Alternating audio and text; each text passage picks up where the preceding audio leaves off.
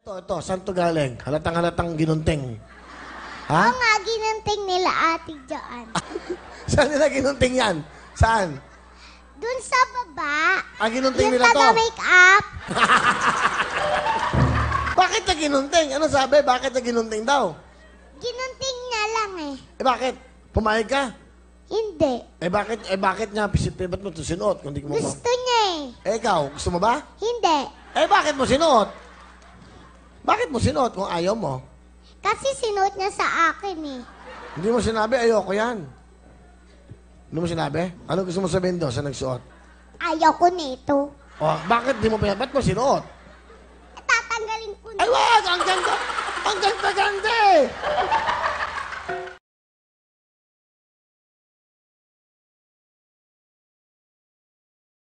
Ano gusto mo maging ano? Paging nanay. Bakit mo gusto maging nanay? Kasi naglalaba yung nanay. Tama! Naglalaba ang nanay! Gusto mo maglaba?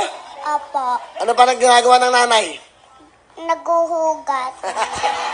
Ng plato, mga kinakainan. Ano pa? Opo. Nagtotong it.